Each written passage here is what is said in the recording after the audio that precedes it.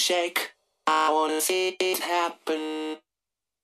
I want to see to be the one that plays the game without no fears and regrets. I want to know you better than I know myself. I want to feel the end and to enjoy.